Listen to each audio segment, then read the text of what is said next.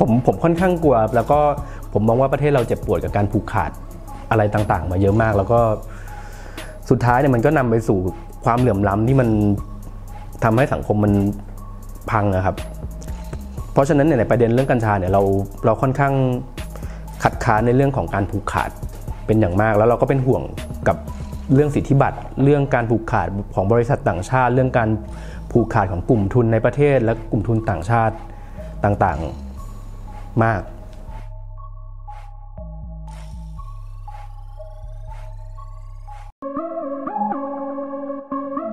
ผมมองว่าประเทศเราเนี่ยมันมันเจ็บปวดกับการผูกขาดมามามากแล้วและนาน แล้วโดยเฉพาะในเรื่องกัญชาเนี่ยผมคิดว่าถ้าเราสามารถ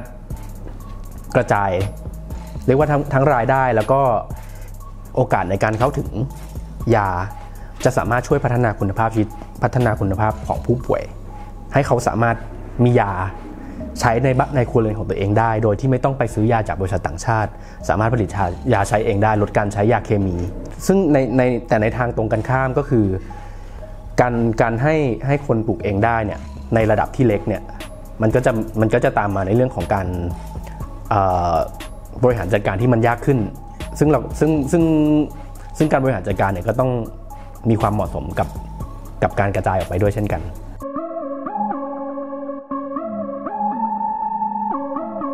คำคำว่ากัญชาเสรีเนี่ยจริง ๆแล้วเนี่ย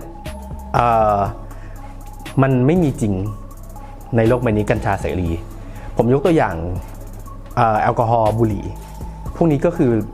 ไม่ไม่ใช่เสรีใช่ไหมครับ ไม่ใช่ว่าใครจะผลิตก็ได้ ไม่ใช่ว่า ใครจะขายก็ได้ ไม่ใช่ใครใครจะซื้อก็ได้ เพราะฉะนั้นเนี่ยมันไม่มีคำว่าเสรี แต่ว่าพวกนี้คือคือการ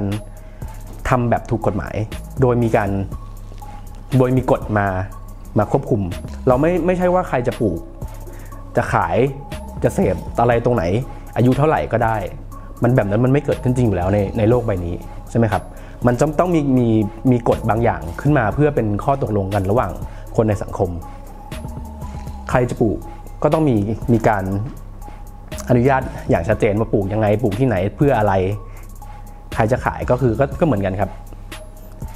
ขายที่ไหนอย่างไร ขายกับใครได้ ขายกับใครไม่ได้ คนเสพก็เหมือนกันครับ อายุเท่าไหร่จำกัดอายุในการซื้อปริมาณในการพกพาเท่าไหร่ เสพแล้วห้ามขับรถไหมเสพแล้วห้ามเสพในที่สาธารณะหรือเปล่า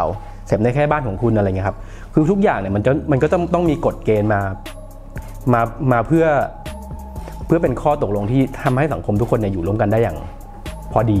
ผมใช้คำนั้นแล้วกัน